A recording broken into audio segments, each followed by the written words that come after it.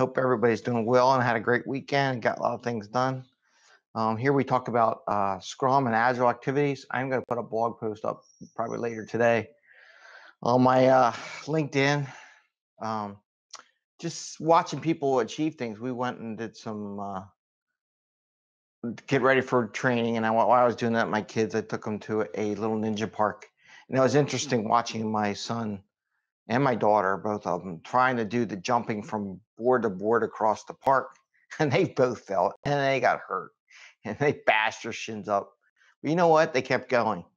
They uh, failed, right?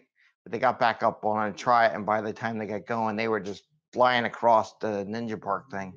And we got to take them as an example. So I thought it would be great when I snapped those videos and put them in as uh, examples of, yeah, you're going to hurt First time it's going to be clunky when you do this agile and scrum stuff, clunky. Why am I doing this? Don't get it.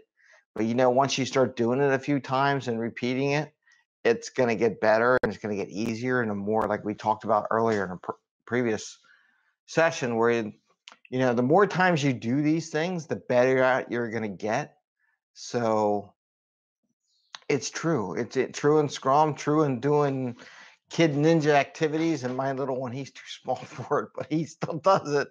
Poor guy. Um, but you know, so something to think about. Outside. Good morning. Good morning.